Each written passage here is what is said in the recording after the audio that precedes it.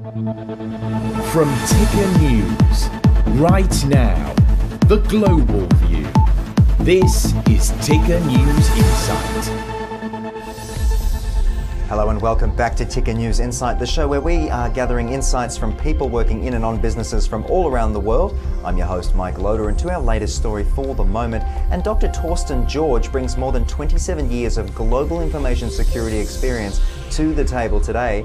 As security evangelist for Absolute Software, he's an expert commentator on cybersecurity and advising companies on how they can become cyber resilient amidst the increasing threats that we're seeing. It's my pleasure to welcome him to the studio. Thank you so much for joining me. Thanks Thank you so much. Thanks for having me. Let's learn a little bit about you just to start. Tell us about how Absolute Software is helping big companies uh, maintain that resilience mm-hmm. and look after themselves in these strange digital days that we're seeing. Sure. Absolute Software is the only provider of self self-healing intelligent security solutions. So we're embedded in more than 600 million devices, which allows us to have a permanent digital connection between our platform, an endpoint application, or network connection. And so that really allows us to have unprecedented visibility, control, as well as self-healing capabilities for these elements. The self-healing is an interesting one. That's not one I've come across before, and I've spoken to a few of you uh, cybersecurity experts, which is great to see. So I love something new. Let's talk how um, you would describe the current landscape that organizations are facing when it comes to cyber threats. What's the state of play? Definitely, as a as a security practitioner, I, I don't envy the people that have to work in that space.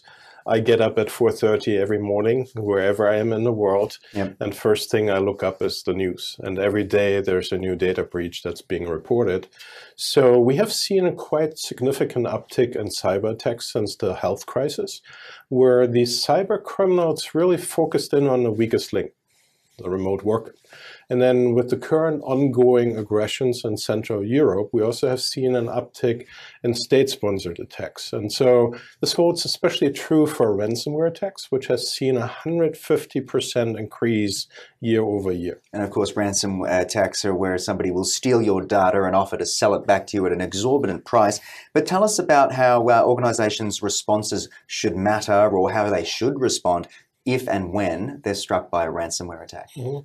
So typically you see most organizations really spend their efforts in protective measures, and that's probably not the right thing to do. In fact, uh, in 2021, 54% of ransomware attacks were successful despite protective measures in place. So that really gives you an indication that you should focus more on recovery and response. Okay. And so here again, it's around uh, self-preparedness, is around monitoring your cyber hygiene, and then if the attack occurs, which nowadays is more given effect than, than a likelihood.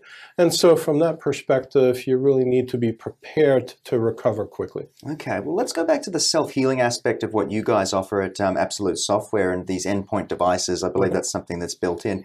Take us through how it works and what it is, because it sounds, uh, yep. you know, self-healing for me is taking a walk and drinking more water. But uh, let's talk about cybersecurity. So as I mentioned, uh, we're embedded in the firmware of more than 600 million devices. Mm -hmm. um, and once this technology is activated, it's fiercely resilient to any attempts of uh, tampering. So you could even remove the hard drive of a laptop, put in a new hard drive. Next time you boot up the device, our technology is alive again. And that really allows us to self-heal the laptop, but also extend these capabilities to the application layer. So we have a library of applications that a customer can take under policy, and then they can monitor for the health of the application, or if they opt to do so, they can also self-heal or repair these applications.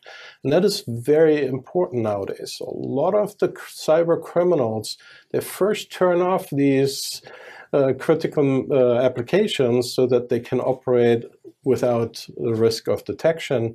And so having that capability that it's always not just installed, but functioning as intended is very critical. Incredible stuff to think that it just pops straight in. But uh, just finally, Torsten, can I get you to comment on organizations and the lessons they can learn from the recent Optus attack we saw?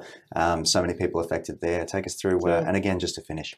I think in general, every organization, if they wanted to build a successful cybersecurity strategy, they have to put themselves into the shoes of an attacker. They have to think like an attacker.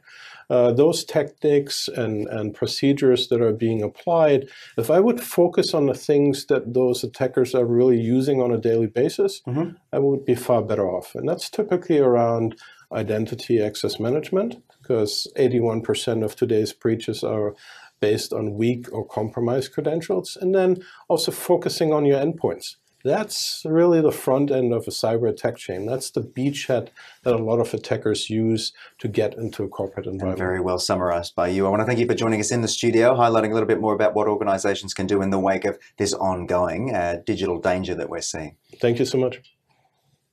And of course, thank you to all of you for tuning in. I've been Mike Loder. Be sure to head to tickernews.co for more insights and information, and of course, breaking news. I look forward to seeing you again soon. Be well.